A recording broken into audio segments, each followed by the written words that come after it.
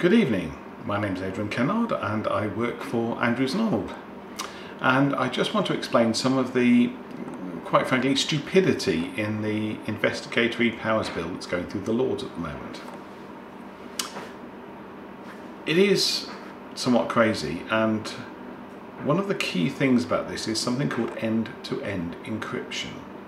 Now, the idea of end-to-end -end encryption is that two people can communicate and the system that provides that communications ensures that only the two people each end of the communication are the ones that can see that communication. No one in between can ever see it. And this is a key security measure for anybody to have privacy.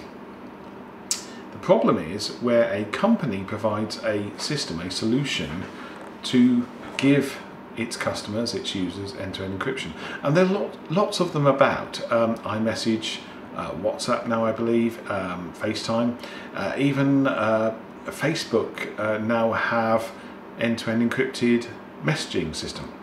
So there's lots of ways of doing this, many of them provided by people outside the UK. Now, the IP bill, as it's going through the Lords at the moment, will allow the government to put secret orders on anyone offering a communication system. And this isn't just internet providers, this is those software vendors. So if Facebook were a UK company, they would be subject to one of these orders.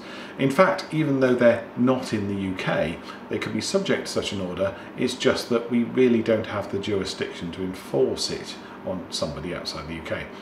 So someone in the UK offering a solution might be subject to a secret order and the order is what's called a technical capability notice and this means that they have to have a system in place so that if they get an order later to intercept communications they can and this can affect the design of the systems they offer. So even if they offer systems that they claim are end-to-end -end communications the government could insist that they secretly change those systems so they aren't, so that they can decode the messages in future. Now, obviously, this is intended, well, I say obviously, how is it intended to catch criminals and terrorists?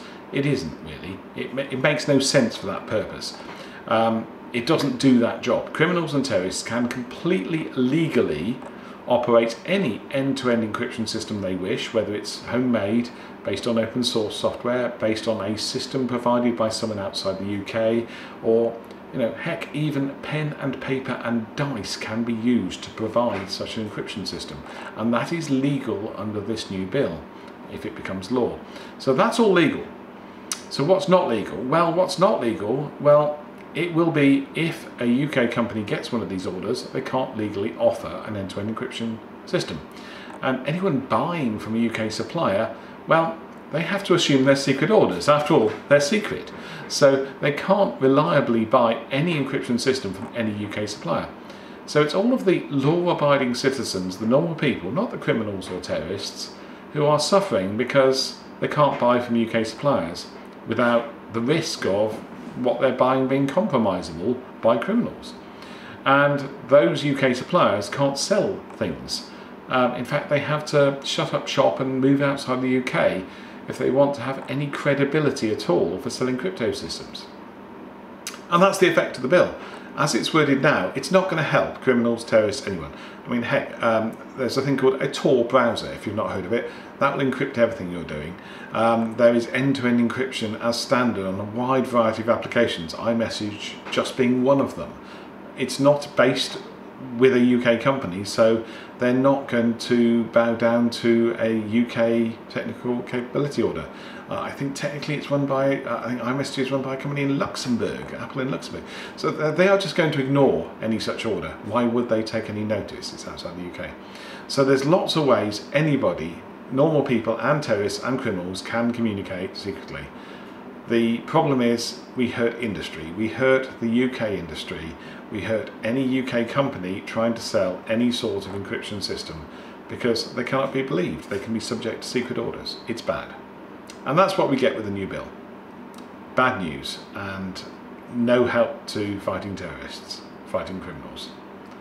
So that's what we all voted for in our democratic system. We have to live with it if it goes into law.